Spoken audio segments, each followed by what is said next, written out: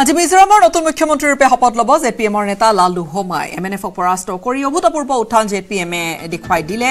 মিজোৰামত আৰু এতিয়া শাসনৰ গাদীত বহিবলৈ সাজু আনুষ্ঠানিকভাৱে আজিৰ দিনটোত এঘাৰ বজাত পুৱা অৰ্থাৎ আৰু মাত্ৰ কিছু সময় পিছতে ৰাজভৱনত শপত গ্ৰহণ কাৰ্যসূচী আছে শপত গ্ৰহণ অনুষ্ঠান আছে। ৰাজ্যপাল ডক্টৰ হৰিবাবুৱে শপত বাক্য পাঠ কৰাব প্ৰাক্তন আই পি এছ লালু হোমাক। নতুন মুখ্যমন্ত্ৰীৰূপে। লালু হোমাৰ মন্ত্ৰীসভাৰ মন্ত্ৰীসকলেও আজি শপত ল'ব। লালডু হোমা যি এগৰাকী কৃষকৰ চতুৰ্থটো সন্তান ঊনৈছশ বাসত্তৰত মিজোৰামৰ প্ৰথমজন মুখ্যমন্ত্ৰীৰ প্ৰধান সহায়ক তেওঁ আছিলে। তেওঁ এক প্ৰকাৰ ক'বলৈ গ'লে ঊনৈছশ সাতসত্তৰ চনত ভাৰতীয় আৰক্ষী সেৱা তেওঁ পৰীক্ষাত উত্তীৰ্ণ হৈছিল। তাৰপিছত দীঘলীয়া সময় তেওঁ গোৱাত কাৰ্যকাল কৰিলে। গোৱাত তেওঁ আই পি এছ হিচাপে নিযুক্তি লাভ কৰি ভালেখিনি সময় তেওঁ কটাইছে। তাৰপিছত তেওঁ যেন ৰাজনীতিৰ ক্ষেত্ৰখনৰ কিছু শিক্ষা তেওঁ ল'বলৈ আৰম্ভ কৰিলে আৰু সেয়া ঊনৈছশ বিৰাশীত প্ৰধানমন্ত্ৰী ইন্দিৰা গান্ধীৰ সুৰক্ষাৰ দায়িত্বত নিয়োজিত হ'ল। দিল্লী আৰক্ষী আয়ুক্ত হিচাপেও তেওঁ কাৰ্যনিৰ্বাহ কৰে। পৰৱৰ্তী সময়ছোৱাত গুৰুত্বপূৰ্ণ পদবী সেয়া। ঊনৈছশ বিৰাশীত এছিয়ান গেমছৰ আয়োজক কমিটিৰ তেওঁ সচিব আছিল।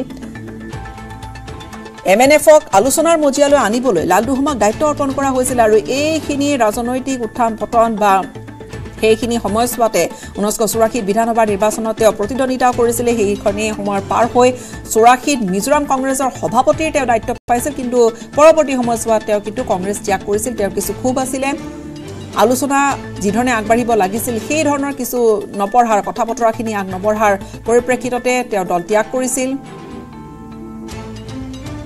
এম এন এফক এম এন এফ এনক তেওঁ ঊনৈছশ সাতান্নব্বৈ জেড এন পি নামেৰে নামাকৰণ কৰে। তাৰপিছত দুহেজাৰ তিনিত জেড এন পিৰ পৰা মিজোৰাম বিধানসভালৈ তেওঁ নিৰ্বাচিত হৈছিলে। সেয়া দুহেজাৰ তিনি চন। তাৰপিছত দুহেজাৰ ওঠৰত জেড এন পি দলটো জেড পি এমৰ সৈতে সংযুক্ত হৈ যায়। লালডুহুমা তাৰপিছত দুহেজাৰ ওঠৰত মিজোৰাম বিধানসভাৰ বিৰোধী দলপতি হয় লালডুহুমা আজিৰ তাৰিখত মুখ্যমন্ত্ৰী হ'বলৈ গৈ আছে শপত গ্ৰহণ কৰিব। এঘাৰটা বজাত শপত গ্ৰহণ গোটেই কাৰ্যসূচী ৰাজভৱনত।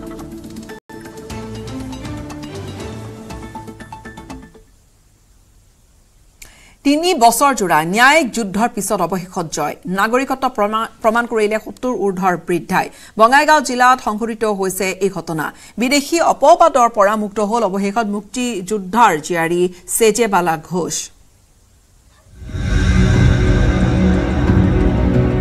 স্বাধীনতা সংগ্ৰামৰ লগত জড়িত পৰিয়ালৰ জীয়াৰী হ'ল বিদেশী। তিনি বছৰো অধিক ন্যায়িক যুঁজৰ অন্তত নিজৰ দেশৰ নাগৰিকত্ব প্ৰমাণ কৰিলে সত্তৰ ঊৰ্ধৰ বৃদ্ধাই। দুৰ্ভগীয়া বৃদ্ধাগৰাকী বঙাইগাঁৱৰ হালবাগাং ঘোকপাৰা দহ নং ৱাৰ্ডৰ চেজেবালা ঘোষ। ভাৰতীয় স্বাধীনতা সংগ্ৰামৰ লগত চেজে ঘোষৰ জীৱনলৈ অমানিশা নামি আহিছিল কভিড মহামাৰীৰ সময়ছোৱাত।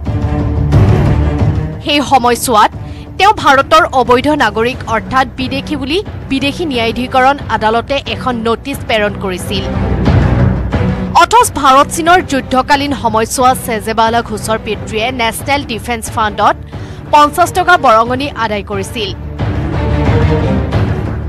সেই পৰিয়ালৰে সদস্য বিধৱা বৃদ্ধা চেজেবালা ঘোষে উক্ত নটিচখন পাই মানসিকভাৱে ভাগি পৰিছিল। চেজেবালা ঘোষৰ জীৱনৰ কঠিন সময়ছোৱাত তেওঁৰ ভতিজা গোপাল ঘোষ আৰু চি জে পি নামৰ এটা স্বেচ্ছাসেৱী সংস্থাৰ সহযোগত ন্যায়িক যুদ্ধৰ বাবে প্ৰস্তুত হৈছিল বৃদ্ধাগৰাকী। বহুবাৰ বিদেশী ন্যায়াধীকৰণৰ আদালতত হাজিৰ হৈ তিনি বছৰো অধিক সময়ৰ ন্যায়িক যুঁজৰ অন্তত নিজকে ভাৰতীয় নাগৰিক বুলি প্ৰমাণ কৰিবলৈ সক্ষম হৈছে চেজেবালা ঘোষ। আজি দুগৰাকী পুত্ৰ বোৱাৰী নাতি নাতিনীৰে বসবাস কৰি থকা চেজেবালা ঘোষ ন্যায়ালয়ৰ ৰায়দানত সুখী যদিও সেই সময়ছোৱাৰ দুঃসময়বোৰৰ কথা ভাবি আজিও শংকিত হৈ পৰে। যোৱা মাহৰ চাৰি তাৰিখে তিনি বছৰ আঠ মাহ পিছত আৰু তেখেতে ন্যায় পালে যে তেওঁ বিদেশী নহয় স্বদেশী হয়। এটা আচৰিত পাইছোঁ যে মোৰ আটাহঁতে ফ্ৰীডম ফাইটাৰৰ লগত জড়িত আছিল আৰু তাৰ কিছুমান চিঠিও আমালোকৰ ঘৰত আছিল। এতিয়াতো বহুত কিবা কিবি নাইকিয়া হৈ গৈছে। এতিয়াও যিবিলাক আছে মোৰ আইতাই nineteen sixty two national defence ফাণ্ডত যেতিয়া চীন আৰু মানে ভাৰতত যেতিয়া যুদ্ধ হৈ আছিল আমাৰ অসমতো চীনে বহুত মানে ঠাইত আপোনালোকে তেজপুৰত এইটোলৈকে আহি গৈছিল। তেতিয়াই সি মাটি বেচে পঞ্চাছ টকা ডনেট কৰিছিল। বঙাইগাঁৱৰ পৰা Upananda Sharma report news eighteen Assam north east. সময়খিনিতে আন এটা বাণিজ্যিক বিৰতিৰ। ষ্টীল এনেকৈ পৰে। মাইথন ষ্টীল এনেকৈ পৰে। ধমকৈ।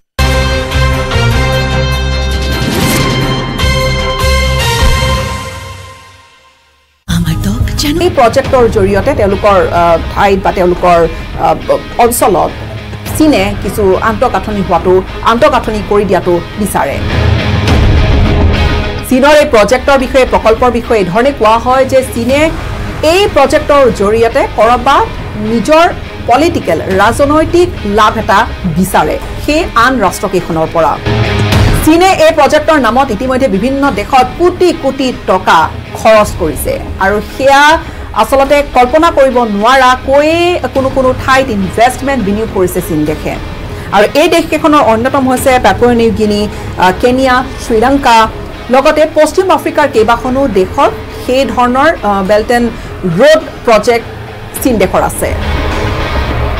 লেটিন আমেৰিকাতো চীনৰ তেনেকুৱা কিছু টেলিকম খণ্ডটোত চীনে বহুখিনি কাম কৰিছে। আৰু বিনিময়ত কি চীনৰ চৰিত্ৰ সম্পৰ্কে বিভিন্ন সময়ত চীনৰ মুখা খোল খাই আহিছে। চীনৰ চৰিত্ৰ কেনেকুৱা আগ্ৰাসী হ'ব পাৰে কোনো কোনো সময়ছোৱাত সেয়া ইতিমধ্যে বিভিন্নজনে অনুভৱ কৰিও আহিছে। আৰু চীনৰ চীনৰ এই বিশেষ প্ৰকল্পটোৰ জৰিয়তে বিশেষ অভিযানটোৰ জৰিয়তে চীনে নিজ দেশৰ ক'ৰবাত প্ৰভাৱ বিস্তাৰ কৰিবলৈ সদায় বিচাৰি আহিছে। অৱশ্যে ইটালীয়ে সম্পৰ্ক কিন্তু চীনৰ সৈতে বেয়া কৰিবলৈ বিচৰা নাই আৰু সেইখিনি কথাও সূত্ৰমতে প্ৰকাশিত হৈছে যে চীনৰ সৈতে ভাল এটা সম্পৰ্ক বৰ্তাই চলিছে কিন্তু এই প্ৰজেক্টত আৰু তেওঁলোকে আশা কৰা ধৰণে যিহেতু ফল পোৱা নাই এই প্ৰজেক্টত আৰু তেওঁলোক একেলগে থাকিবলৈ বিচৰা নাই তেওঁলোকে চুক্তিৰ পৰা ইতিমধ্যে নিজে আঁতৰি আহিছে। লক্ষণীয় বিষয়টো হৈছে যেতিয়া ছেপ্টেম্বৰ মাহত জি টুৱেণ্টি শীৰ্ষ সন্মিলন নতুন দিল্লীত অনুষ্ঠিত হৈছিল তেতিয়া ইটালীয়ে স্বাক্ষৰ কৰিছিল আন বহু দেশৰ সৈতে। সেই অন্যতম গুৰুত্বপূৰ্ণ এখন চুক্তিত যিয়ে হৈছে India middle east Europe economic corridor. এই ইকনমিক কৰিডৰৰ জৰিয়তে ইউৰোপৰ সৈতে মিডিল ইষ্ট মধ্যপ্ৰাচ্য হৈ ভাৰতৰ এটা নতুন বেপাৰ বাণিজ্যৰ বাট এটা মুকলি কৰাৰ বাবে বিভিন্ন দেশে চহী কৰিছে বিভিন্ন দেশে চুক্তিবদ্ধ হৈছে আৰু ইয়াৰে অন্যতম এখন দেশ ইটালীও ইটালীয়েও এম অ' ইউ বুজাবুজিৰ চুক্তিত স্বাক্ষৰ কৰিছে। আৰু তাৰ পিছত ইটালীৰ চীনৰ পৰা আঁতৰি অহাৰ এই সিদ্ধান্তটো বিভিন্নজনে বিভিন্ন ধৰণে বুজাবলৈ বিচাৰে চাবলৈও বিচাৰে। কিন্তু এই মুহূৰ্তত বা আজিৰ তাৰিখত চীনৰ পৰা ইটালী নিজে নিজে আঁতৰি অহা বিষয়টোৱে আচলতে বিশেষ তাৎপৰ্যও বহন কৰিছে।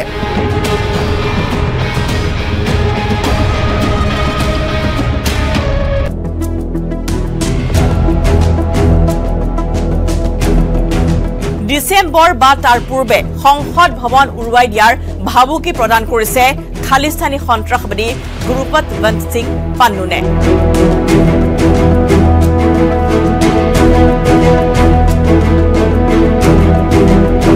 इरादों के सफर का सरताज हूँ मैं शहर से गांव तक सड़कों का मोहताज हूँ मैं आ रहा हूँ मैं आसाम की सड़कों पर कुमार इंजीनियरिंग का नया ताज हूँ coming soon Kumar engineering we understand your need.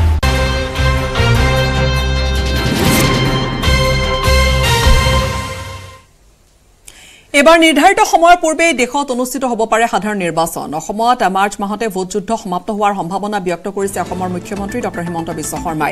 অসমত অগপ ইউ পি পি এলৰ সৈতে মিলি লোকসভা নিৰ্বাচন খেলিব বিজেপিয়ে তিনিওটা দলৰ মাজত আসন ভাগ বতৰাৰ বিষয়টোৰ ক্ষেত্ৰত নেতৃত্ব ল'ব কিন্তু অমিত শ্বাহে। দুই এদিনতে ঘোষণা হ'ব ডিমা হাছাও স্বায়ত্তশাসিত পৰিষদৰ নিৰ্বাচনৰ দিনো। নিৰ্বাচন আগুৱাৰ পৰিৱেশটো ক'ত? ফেব্ৰুৱাৰীত বাজেট হ'ব মাৰ্চত অসমৰ নমিনেশ্যন হ'ব।